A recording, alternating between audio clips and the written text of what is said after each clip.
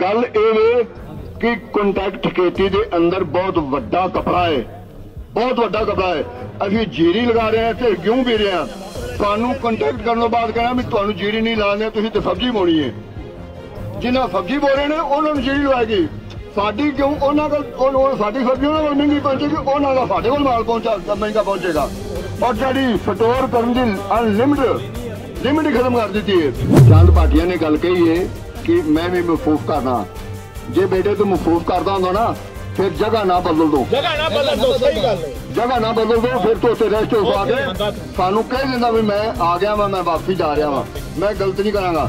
ਤੇਰੇ ਡੈਡੀ ਨੇ ਬਰੋਦਾ ਇਲੈਕਸ਼ਨ ਦੇ ਅੰਦਰ ਇਹ ਗੱਲ ਕਹੀ ਹੈ ਕਿ ਮੈਂ ਇਲੈਕਸ਼ਨ ਇਸ ਬਿੱਲ ਦੇ ਸਾਰੇ ਫਾਇਦੇ ਗਿਣਾ ਸਕਣਾ ਵਾਂ। ਹੁਣ ਪ੍ਰਚਾਰ ਇਹ ਗੱਲ ਕਹੀ ਹੈ। ਮੈਂ ਗੱਲ ਕਹਿਣਾ ਵੀ ਇੱਕ ਵੀ ਫਾਇਦਾ ਗਿਣਾ ਦੇ ਸਾਨੂੰ। ਇੱਕ ਵੀ ਫਾਇਦਾ ਵਿਖਾ ਦੇ ਇਸ ਬਿੱਲ ਦੇ ਅੰਦਰ। ਪੁੱਛਿਆ ਕਦੀ ਆ ਕੇ ਅਸੀਂ ਦੁਖੀ ਇਦੋਂ ਹੀ ਆ ਤੁਹਾਡੇ ਤੋਂ ਜ਼ਿਆਦਾ ਕਿ ਇੱਕ ਐਮਪੀ ਵੀ ਨਹੀਂ, ਜਿਹੜਾ ਬੀਜੇਪੀ ਦਾ, ਤੁਸੀਂ ਉਹਨਾਂ ਆਪਣੇ ਇੱਕ ਬੰਧੂਆ ਕੱਲ ਨੂੰ ਵੋਟ ਸਾਦੇ ਤੋਂ ਲੈਣੇ ਜੇ ਕਿਸਾਨਾਂ ਤੋਂ ਹੀ।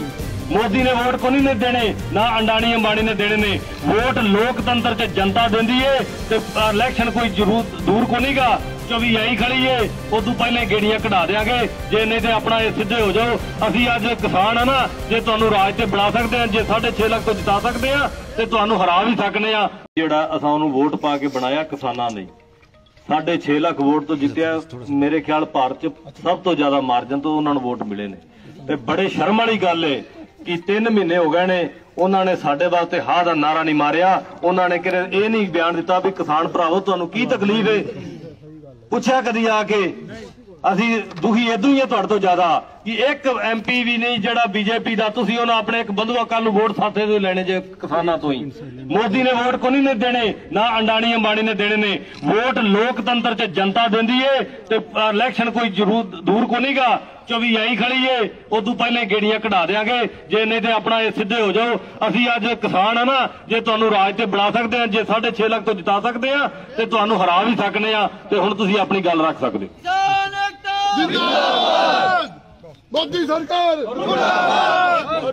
सबसे पहले तो मैं जो आज संध में आया था, ये सामाजिक और समाज के लिए कार्यक्रम था।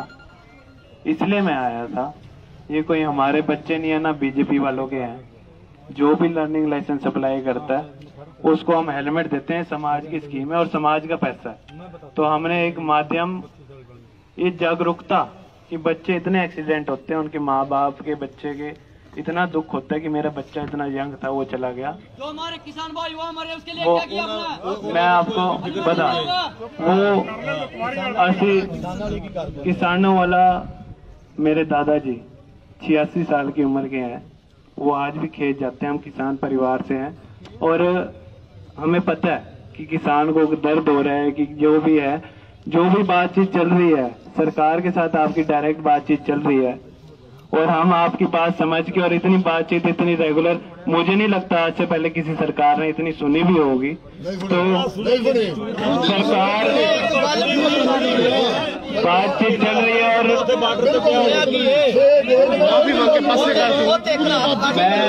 मैं माफ़ी मैं कहना चाहना ਕਿ ਤੁਹਾਡੇ ਔਰ ਸਾਡੇ ਵਿੱਚ ਕੋਈ ਫਰਕ ਨਹੀਂ ਹੈਗਾ ਅਸੀਂ ਵੀ ਕਿਸਾਨ ਹੈਗੇ ਆਪਾਂ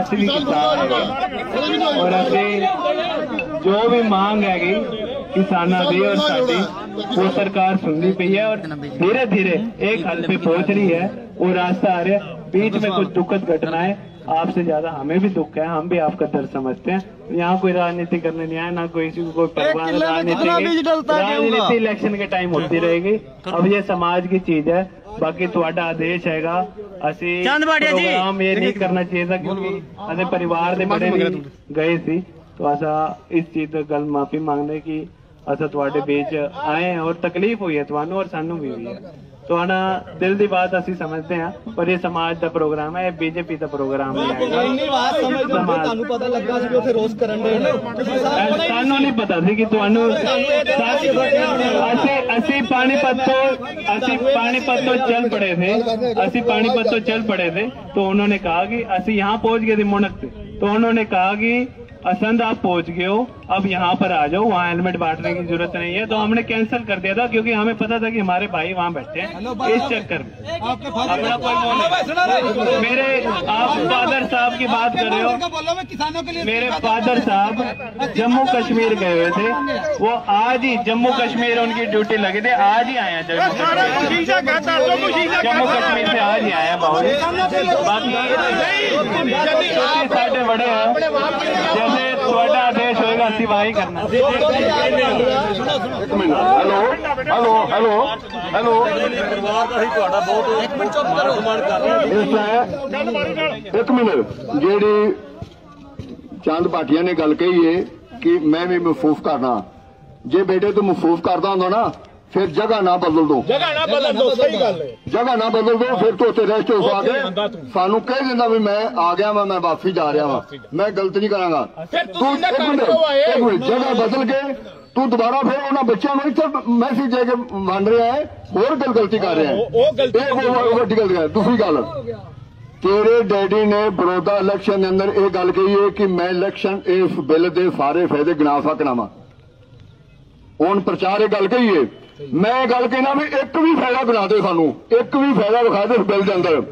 ਪੂਰੀ ਸਰਕਾਰ ਇੱਕ ਵੀ ਫਾਇਦਾ ਵਿਖਾ ਦੇ ਤੇ ਅਸੀਂ ਅਗਲੀ ਗੱਲ ਬਾਅਦ ਦੀ ਫਾਇਦਾ ਛੱਡ ਕੇ ਇੰਨਾ ਵੱਡਾ ਨੁਕਸਾਨ ਹੈ, ਜਿਹੜੇ ਇਹ ਪਾਰਟ, ਇਹ ਬਿੱਲ ਨੇ, ਜਿਸ ਤੱਕ ਤੁਸੀਂ ਹੁਣ ਵੀ ਗੱਲ ਪ੍ਰਧਾਨ ਮੰਤਰੀ ਕਹਿ ਰਹੇ ਵੇ ਵੀ ਐਮਐਸਪੀ ਤੋਂ ਰਹੇਗੀ, ਥੀ ਹੈ।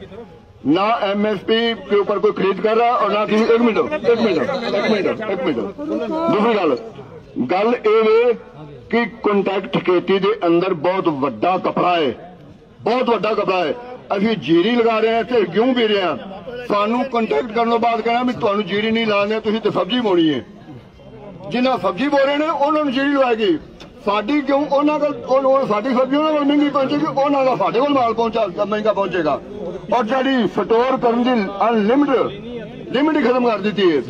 ਜਦੋਂ ਤੇਰੇ ਘਰ ਦੇ ਅੰਦਰ ਸਟੋਰ ਹੈਗਾ, ਤੂੰ ਮੈਨੂੰ ਆਪਣੀ ਮਰਜ਼ੀ ਨਾਲ ਚੀਜ਼ ਦੇਣੀ ਹੈ ਤੇ ਜੇ ਤੂੰ ਆਪਣੀ ਮਰਜ਼ੀ ਨਾਲ ਦੇਣੀ ਹੈ ਇਹਦੇ ਫਾਇਦਾ ਕਿਤੇ, ਬਿੱਲ ਸਾਡੇ ਹੱਕ ਦਾ ਕਿਤੋਂ ਰਹਿ ਗਿਆ ਹੈ ਇਹ ਸਾਨੂੰ 100% ਨੁਕਸਾਨ ਹੈ ਔਰ ਮੈਂ ਫਿਰ ਦੁਬਾਰਾ ਗੱਲ ਕਹਿਣਾ, ਇਹ ਤੁਸੀਂ ਨਿੱਕੇ ਨਿੱਕੇ ਹੱਥ ਕੰਡੇ ਜਿਹੜੀ ਪਾਰਟੀ ਵਾਲੇ ਬੀਜੇਪੀ ਵਾਲੇ ਅਪਣਾ ਰਹੇ ਹੋ ਨਾ, ਕਦੀ ਅਨਸ਼ਨ ਕਰਨਾ ਹੈ ਕਦੀ ਇਹ ਕਰਨਾ ਹੈ ਕਦੀ ਡੁਪਲੀਕੇਟ ਕਿਸਾਨ ਜਾ ਕੇ ਉੱਥੇ ਕ੍ਰਿਸ਼ੀ ਮੰਤਰੀ ਦੇ ਕੋਲ ਬਿਠਾ ਦਿੰਦੇ ਹੋ।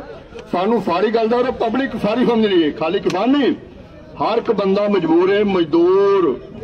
ਛੋਟਾ ਵਪਾਰੀ, ਦੁਕਾਨਦਾਰ, ਮੁਲਾਜ਼ਮ, ਹਰ ਇੱਕ ਬੰਦਾ ਮਜਬੂਰ ਹੈ ਔਰ ਹਰ ਇੱਕ ਬੰਦਾ ਇਹ ਕਿਸਾਨਾਂ ਦੇ ਇਹ ਸੰਘਰਸ਼ ਦੇ ਅੰਦਰ ਆਪਣੇ ਯੋਗਦਾਨ ਪਾ ਰਿਹਾ ਹੈ। ਇਥੋਂ ਤੱਕ ਕਿ ਲੋਕੀ ਡੀਜੀਪੀ ਦਾ ਅਹੁਦਾ ਛੱਡ ਕੇ ਆਏ, ਡੀਆਈਜੀ ਦਾ ਅਹੁਦਾ ਛੱਡ ਕੇ ਵਿੱਚ ਬੈਠ ਗਏ ਨੇ।